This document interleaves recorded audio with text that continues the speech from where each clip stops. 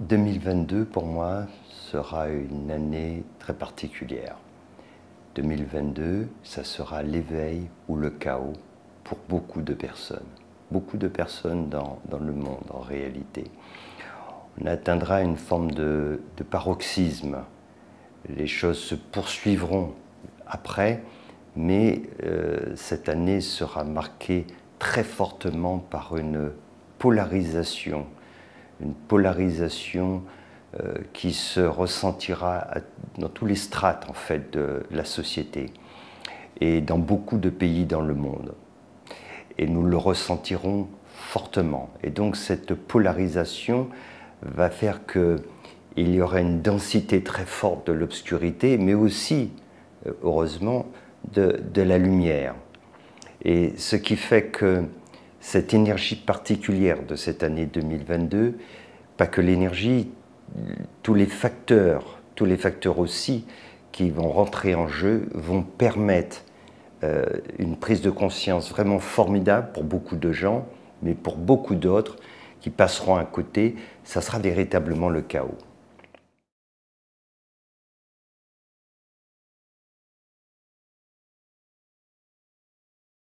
Le 22 a une vibration particulière. On peut faire un, parallèle avec euh, la 22e lame du tarot et sur le plan numérologique aussi, lorsqu'on calcule notamment notre euh, chemin de vie.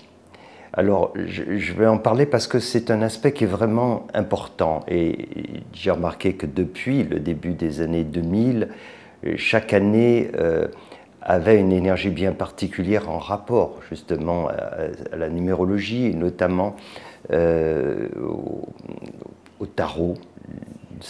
il y a des aspects qui ressortent et aussi, comme je le disais, sur l'aspect du chemin de vie. Alors, de ce point de vue-là, 22 est un maître nombre.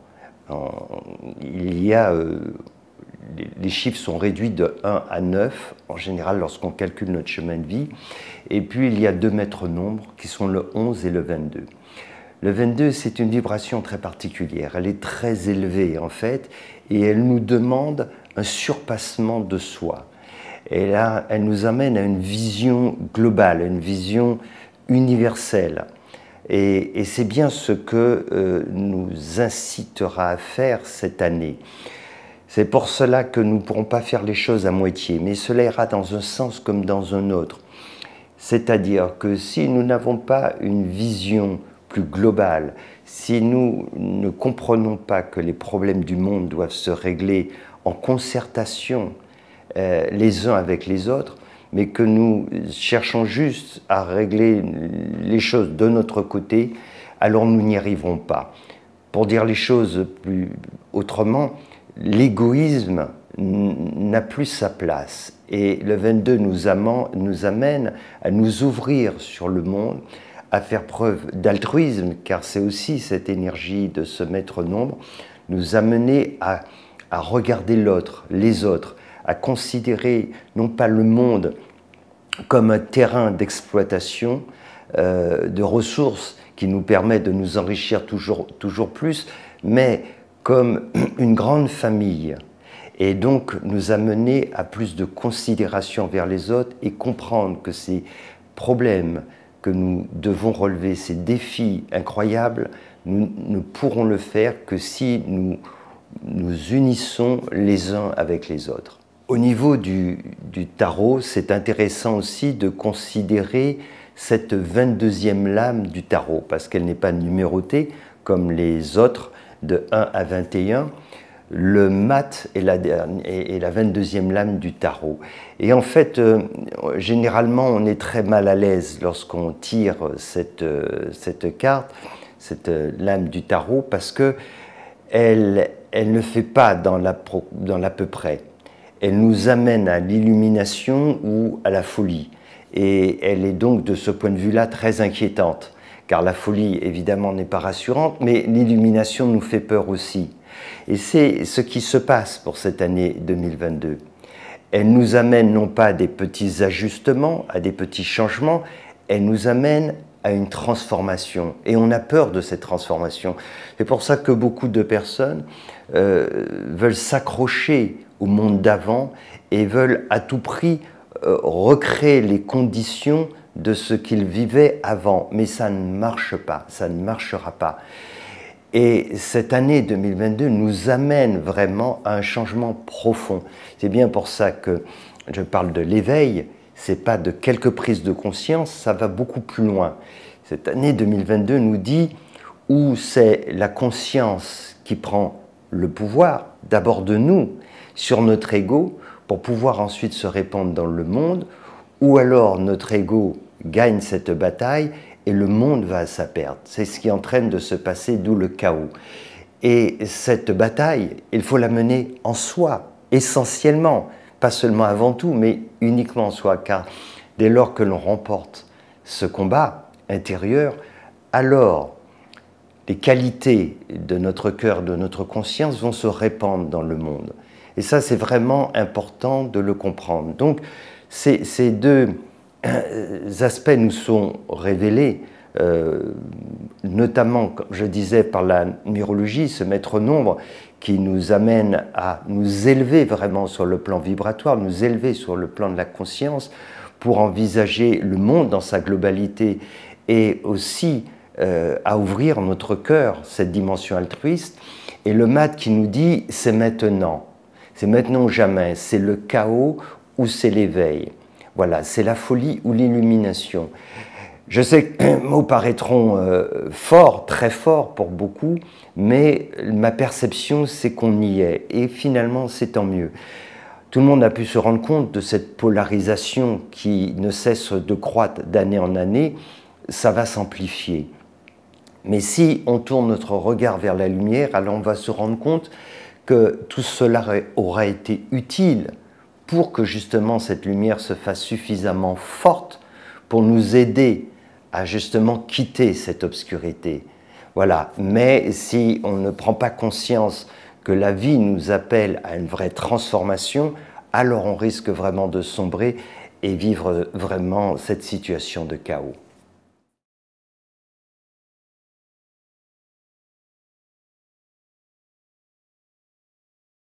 Oui, on doit s'attendre à des bouleversements dans nos vies vraiment. Et ça, c'est un point qui est très important. Euh, la première chose, je dirais, en parlant de ces perceptions, mais en même temps, c'est un peu un conseil, euh, le changement est inévitable, il s'accélère, il se fait de plus en plus fort. Alors, il y a les changements que nous avons créés finalement, dont nous sommes à l'initiative, malheureusement, notamment sur le plan écologique, climatique, et cela nous amène à prendre conscience que nous devons changer nos modes de vie. C'est ça qui est important, car ces changements, nous n'en voulons pas, mais si nous n'en voulons pas, il nous faut changer en profondeur. Et si nous sommes rétifs, euh, réticents à ces changements, alors nous allons de catastrophe en catastrophe. C'est bien ça le problème. Donc, ce qui est très important, c'est de considérer le changement et les changements que nous devons faire comme quelque chose de salutaire, non pas comme un problème, mais comme la solution, la solution à nos différents problèmes.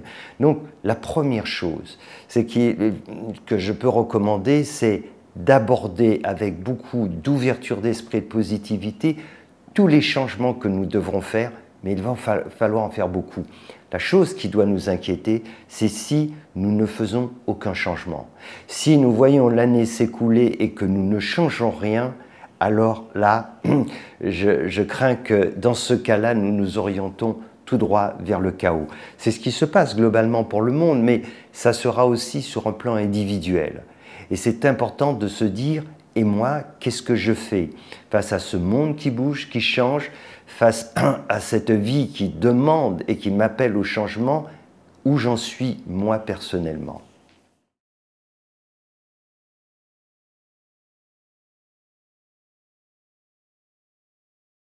Il y aura beaucoup de, conséquences euh, et alors on a bien vu, on, sait tous déjà euh, les, les, conséquences euh, du dérèglement climatique. On en voit des effets dévastateurs depuis, à travers des, tempêtes, cyclones, ouragans, etc., des problèmes d'inondation, de sécheresse, ce que ça implique, les, réfugiés climatiques, et cette tendance va s'accélérer. Ma perception, c'est qu'il y aura des, choses nouvelles euh, qui euh, vont nous inquiéter et qu'on n'a pas encore prévues, pas vraiment prévues, et qui vont se manifester, qui seront des conséquences de ce dérèglement aussi climatique, des conséquences euh, de notre, je dirais, de, cette biodiversité, de cette approche que nous avons plus généralement euh, avec euh, notre, rapport à l'écologie, et donc cette destruction massive des forêts, ce non-respect de la nature, va générer un certain nombre de problèmes nouveaux que nous allons euh, identifier en, 2022 et qui vont s'annoncer aussi très inquiétants. Mais tout cela est pour nous rappeler que ce changement, c'est maintenant et il ne faut pas le faire de façon homéopathique.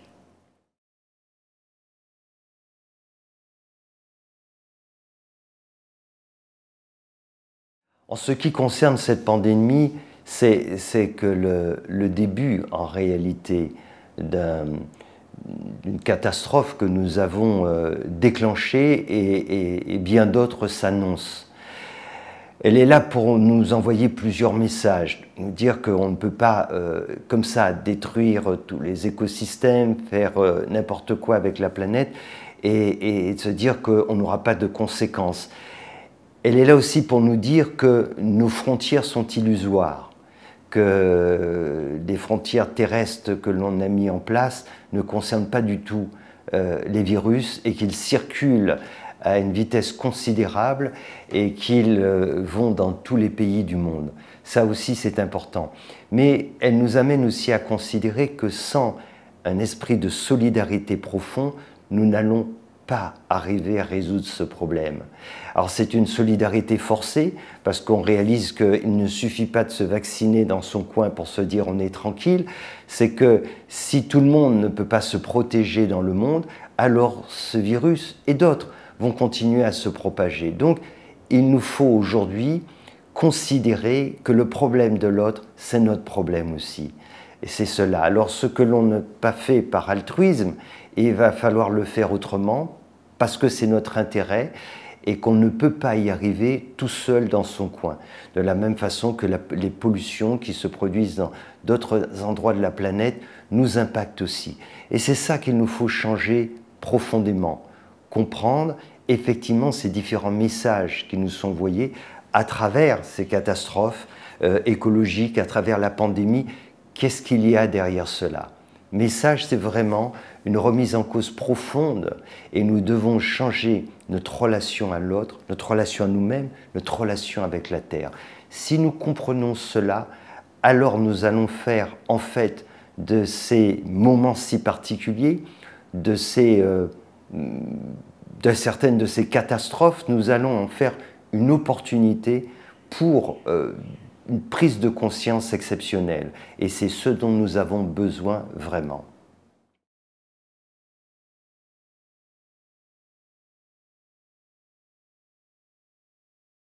Ce phénomène en fait de, méfiance va se, va se développer, va s'amplifier.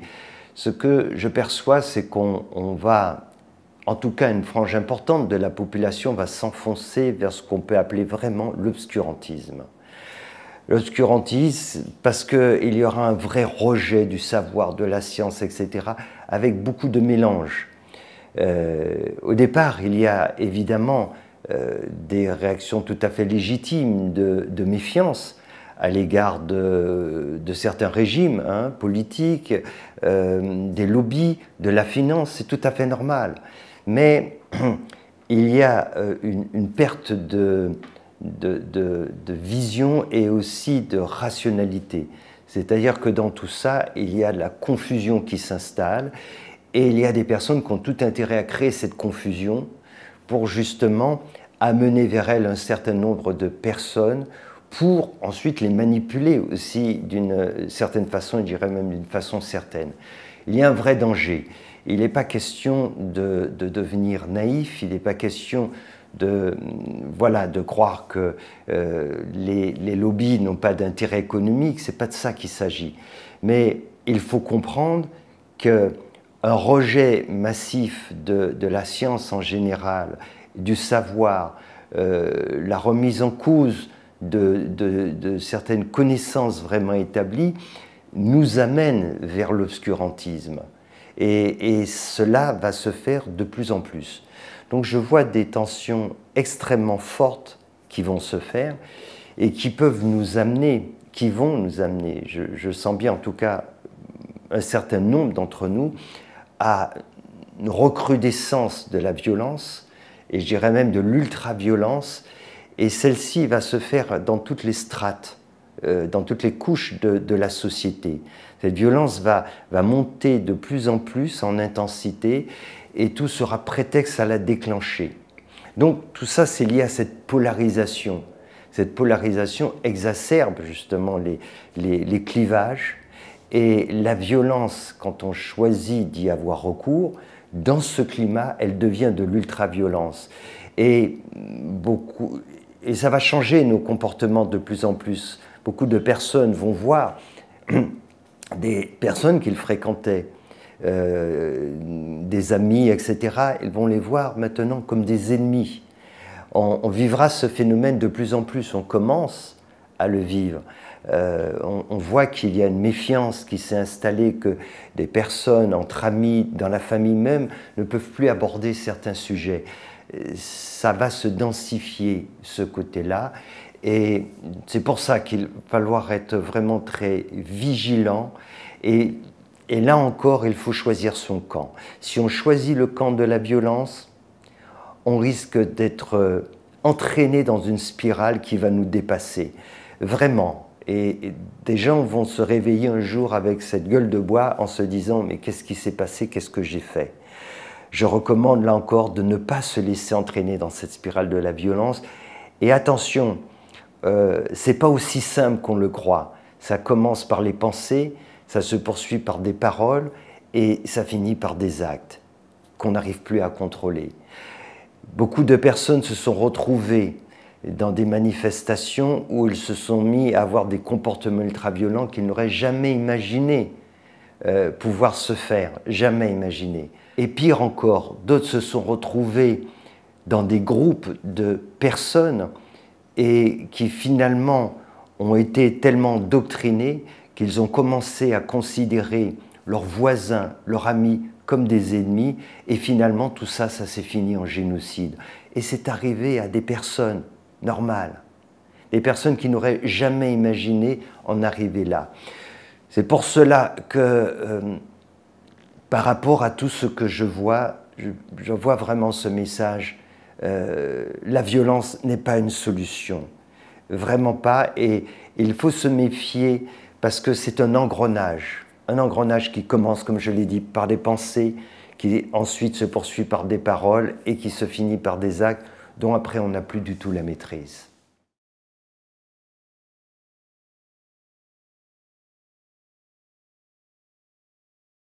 C'est un autre phénomène qui est inquiétant. Euh, c'est la montée de ces régimes autoritaires. Et ça se renforce en Asie, en Afrique, en Europe. On, le voit bien, euh, aux États-Unis, le problème est, loin d'être réglé aussi. Donc, il y a un vrai euh, danger à ce niveau-là. Et il faut vraiment être euh, attentif à ça, d'autant que Bien souvent, on parle de, dictature aussi dans des pays où on vit quand même dans une relative démocratie et on n'a pas conscience de ce qu'est vraiment un régime autoritaire, une vraie dictature. Et c'est vraiment important de prendre conscience de cela et que dans les pays où on a la chance de vivre en démocratie, même si celles-ci ne sont pas parfaites, de, faire en sorte euh, d'améliorer ces démocraties, mais ne pas confondre, ne pas confondre euh, ce qu'est un vrai régime autoritaire, ce qu'est une vraie dictature, avec euh, démocratie. Parce que on peut tomber là encore dans le piège de ceux qui vont, euh, sous euh, prétexte d'apporter plus de liberté, vont en réalité nous amener vers une privation de liberté. Donc il faut être très prudent à ce niveau-là, parce que c'est loin d'être gagné. Et si on observe ce qui se passe dans le monde, et je le ressens bien sur le plan énergétique, ça rejoint cette polarisation il y a un besoin d'étouffer nos, libertés. Mais en même temps, cet aspect-là est traduit différemment chez les uns et chez les autres. C'est pour ça que c'est si compliqué. Pour certaines personnes, ça se traduit par le fait de nous dire il faut porter un masque. Et ce, fait-là est traduit par on veut m'enfermer, on veut m'emprisonner, etc. Donc, c'est là où c'est euh, difficile parce qu'il faut vraiment faire preuve de discernement entre ce qui est une vraie privation de liberté, ce qui fait partie d'une démarche euh, qui consiste à vraiment instaurer un régime autoritaire et ce qui ne l'est pas. Et ce qui n'est pas de ce, de, ce, de ce fait et qui est autre chose et qui est en fait des mesures qui peuvent être mises en place ponctuellement euh, non pas pour nous restreindre, de restreindre nos libertés, mais pour faire face à certains problèmes que l'on peut rencontrer ponctuellement.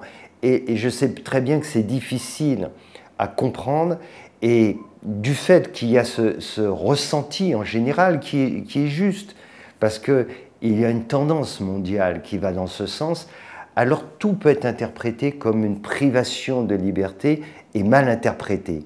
Et là-dessus, il va falloir faire preuve de beaucoup de discernement parce que la confusion euh, se fait déjà, elle se fera de plus en plus, et alors on peut se mettre à combattre à ce moment-là le mauvais ennemi. Et, finalement, ceux qui vont être derrière pour nous dire attention, danger, danger, on, veut euh, atteindre vos libertés, ce sont ceux-là même qui ont le plan de restreindre nos libertés. Il faut faire très, très attention. Et, vraiment, c'est faire preuve de discernement. Être vraiment très important.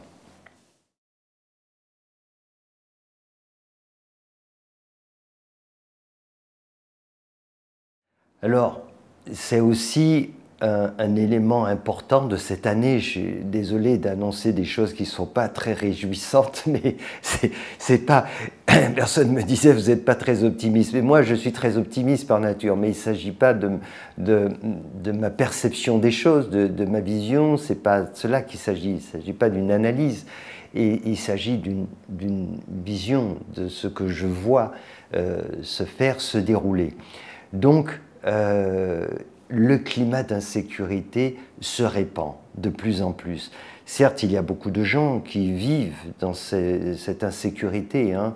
euh, à la fois euh, pour certains dû aux guerres, des fois ça se combine, euh, sur le côté alimentaire notamment, l'insécurité alimentaire, et toutes sortes de violences ce phénomène, il se répand, c'est-à-dire que les personnes qui se croyaient à l'abri euh, et, en sécurité réalisent que euh, tout cela change. Voilà. Et, ce sentiment qu'on ne sait pas de quoi sera fait demain se répand de plus en plus. Alors, ça peut être perçu, et, c'est perçu comme un vrai problème pour beaucoup de personnes, mais en même temps, on peut l'aborder autrement. Et, ça, c'est un, aspect qui est très important, parce que si on considère l'inconnu comme notre ennemi, alors il le devient. Mais si on considère l'inconnu comme une opportunité, alors effectivement, c'est ce qui se produit aussi. Donc, on a vraiment euh, le choix, c'est notre libre arbitre. L'inconnu va se répandre de plus en plus, mais ce n'est pas forcément une mauvaise chose. Pourquoi? Parce que le connu ne mène nulle part. Voilà, c'est ça que la vie nous envoie comme message. Le connu que nous avons bâti ne mène nulle part. Il nous mène à la catastrophe, plus exactement. Donc, il nous faut accepter l'inconnu. Mais cet inconnu, il va passer par l'effondrement de nos valeurs, de nos modes de vie, de cette maison que nous avons mis tant de temps à bâtir. Alors pour beaucoup de personnes, il s'agira très très vite de, reconstruire, de reconstruire à l'ancienne et même de reconstruire sur les ruines de l'ancien. Il ne faut pas faire cela. Donc, quelque part, il faut accepter cet effondrement pour rebâtir à partir de zéro, c'est-à-dire reprendre tout depuis les fondations. C'est ça en fait. Et pour cela qu'on se dit jusqu'où on devra remettre en cause finalement ce qui se passe. Voilà.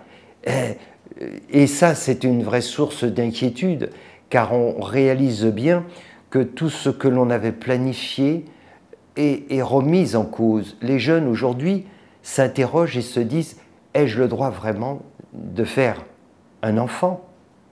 Quel avenir je vais lui donner Sachant euh, que dans les 10 ans, 15 ans, euh, tous les problèmes qui auront lieu, alors allons voir dans 30 ans, 40 ans. Donc, aujourd'hui, on, est obligé de se poser des questions existentielles et notre avenir est totalement incertain. Voilà. Alors, à partir de là, où nous rebâtissons tout cela sur de l'ancien, où nous, nous pensons qu'à une chose, et beaucoup de personnes euh, considèrent les choses ainsi, vivement de reprendre le monde d'avant, de recommencer comme avant. Si nous faisons ainsi, c'est la catastrophe, c'est le chaos. Mais si nous considérons ces événements très durs qui se produisent comme une interpellation profonde pour un changement conséquent, alors ça devient très différent. Donc l'inconnu, je recommande de l'aborder euh, non pas comme un ennemi, mais au contraire comme une formidable opportunité, car ce qui est connu ne nous amène pas vers l'éveil de notre conscience, sinon ça serait fait depuis longtemps.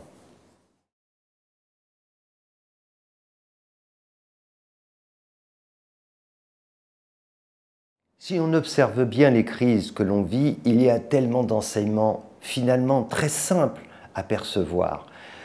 Au niveau de la pandémie, euh, le message que nous pouvons retenir, deux grands messages, c'est de dire, voilà, continuez à, détruire l'écosystème, à destruction des planètes, l'habitat des animaux, notamment sauvages, voilà ce qui vous attend. C'est la première chose. Donc, ça veut dire respect.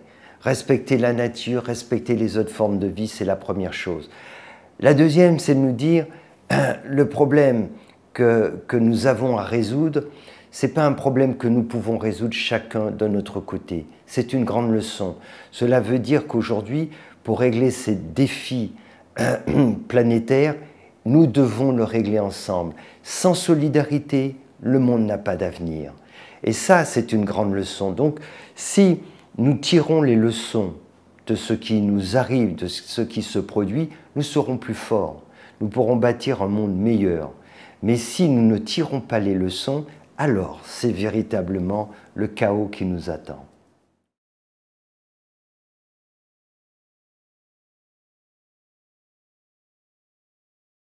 Oui, ce que je vois dans cette année aussi 2022, c'est un, mouvement profond. Alors ce mouvement, il a commencé depuis un certain nombre d'années, c'est-à-dire d'une jeune génération euh, qui prend vraiment conscience des enjeux climatiques, bien plus que les adultes, que beaucoup d'adultes, et qui réalise que les dirigeants ne prennent pas les mesures qu'il faut, les dirigeants et, beaucoup aussi de leurs parents. Et ils ont vraiment conscience de cela. Ils ont conscience de ce danger et ils voient bien que euh, leur avenir est plus qu'incertain, il est totalement compromis et il voit les dirigeants se réunir, parler beaucoup et finalement prendre des mesures désuètes qui ne sont pas du tout, du tout à la hauteur en fait des, enjeux et des problèmes que, justement le dérèglement climatique pose. Euh, euh, ces jeunes sont relativement marginalisés, même s'ils arrivent à faire entendre leur voix, mais je sens que ça va monter de plus en plus monter parce que euh, les événements vont leur donner raison quant à la nature des catastrophes et à l'urgence aussi à prendre des mesures. Et puis, ils comprennent de plus en plus qu'il faut se structurer, s'organiser, voire se politiser dans le sens de, de, pouvoir agir. Ils comprennent que pour agir, euh, s'ils veulent simplement influencer les politiques, ils voient qu'en face d'eux, il y a des lobbies extrêmement puissants qui ont le dernier mot.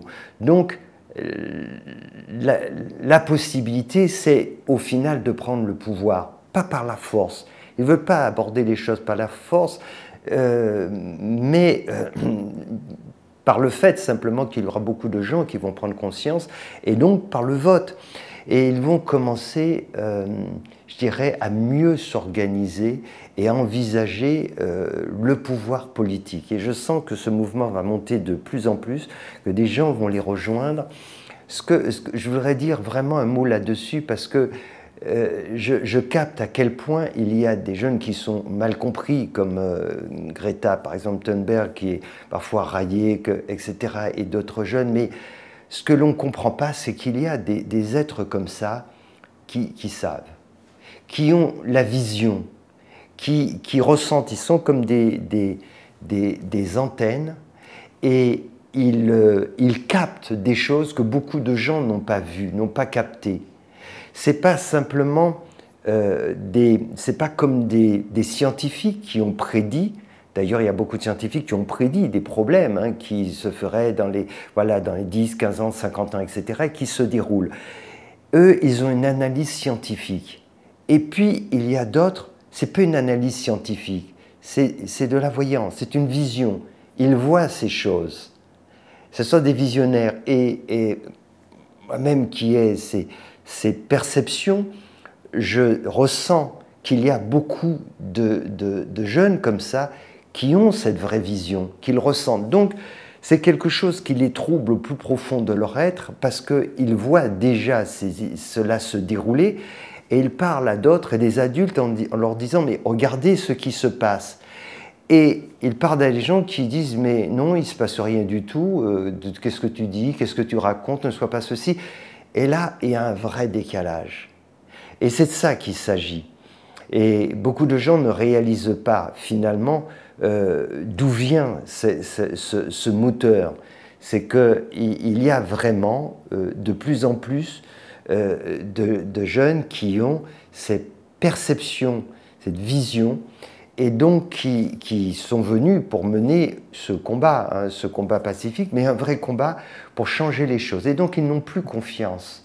Euh, on dirait euh, vers les, dirigeants, vers les adultes, pour beaucoup hein, d'entre eux, en disant vous ne faites pas ce qu'il faut. Maintenant, nous devons prendre notre avenir en main. Et c'est une excellente chose, car euh, c'est leur avenir. Et, donc, ils, savent qu'ils doivent compter d'abord sur eux, essentiellement sur eux, et peut-être uniquement sur eux pour l'instant, et, ensuite d'autres les suivront. Donc, je perçois que c'est un mouvement qui va s'amplifier, qui va s'ancrer et que l'on va considérer avec beaucoup plus de, de sérieux euh, très rapidement, finalement.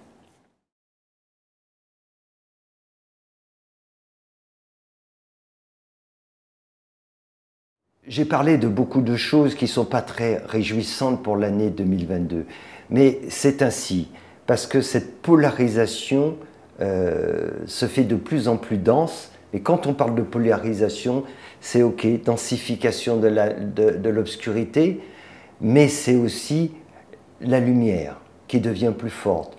Ce sont aussi des opportunités d'éveil extraordinaires. Mais il faut choisir son camp. Et donc, si on fait le choix de, la bienveillance, si on fait le choix du cœur, si on fait le choix de la conscience, si on fait le choix intelligent de faire sa révolution intérieure et non pas une énième révolution extérieure qui ne mène à rien, si ce n'est à encore accroître la violence dans ce monde, alors, alors oui, on a une vraie opportunité de vivre un processus d'éveil de nos consciences. Donc, les conseils que je donne, c'est il faut développer le discernement, son calme, ne pas se fier aux apparences. Et il faut développer son calme, le discernement et comprendre que le grand changement tant attendu, il ne se produira jamais à l'extérieur, jamais. Et quand bien même il se produirait, si nous, nous n'avons pas fait le nôtre, alors ça ne changera rien pour nous. Ça ne changera strictement rien. Quand bien même ce monde deviendrait magnifique, si nous, nous ne sommes pas libérés de la prison dans laquelle nous sommes, alors nous resterons prisonniers. Donc, et le contraire est vrai aussi. Quel que soit ce qui peut se produire dans le monde, si nous parvenons à éclore intérieurement, alors rien ne pourra nous affecter, quel que soit ce qui se passera à l'extérieur. Donc, ce que je recommande, c'est de ne pas s'égarer, de ne pas se tromper de combat. Le combat, il n'est pas à l'extérieur. Le combat, il est à l'intérieur. C'est le combat de notre obscurité et de notre lumière, de notre ego avec notre conscience. Donc pour cette année 2022, je recommanderais une attitude très simple qui va vous permettre d'aborder cette année dans les meilleures conditions. La première, c'est de cultiver la paix. La première chose. Car dès lors que l'on est troublé, agité, on ne peut pas écouter notre intuition, on ne peut pas ressentir ce qui est juste.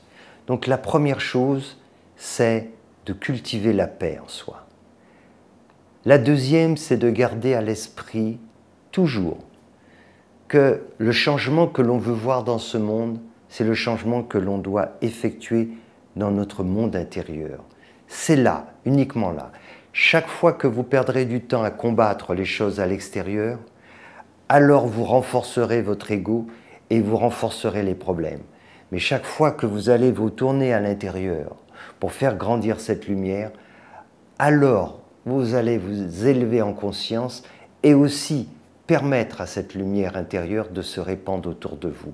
Donc cultiver la paix et aussi le travail intérieur pour pouvoir avancer comme il faut dans cette, année 2022, cheminer comme il faut et développer ce discernement. Ça sera plus facile en étant en paix avec soi-même et toujours soyez attentif à ce que vous pouvez améliorer à l'intérieur de vous pour pouvoir parvenir à cet éveil de votre conscience.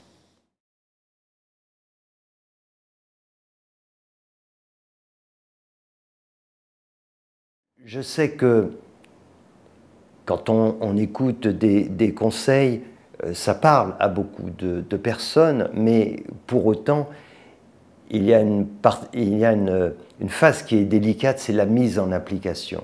C'est pour ça que j'ai souhaité organiser une retraite spirituelle en fin d'année pour permettre à la fois à tout un chacun de mieux comprendre, pas seulement intellectuellement, car ce n'est pas l'important de comprendre intellectuellement, c'est que dans le cadre d'une retraite, on peut mieux ressentir, ressentir les enseignements.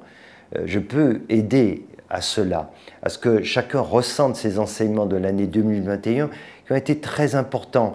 Et si on n'en tire pas, euh, je dirais, euh, toute la richesse, si on, passe à côté, alors on va mal s'engager pour 2022.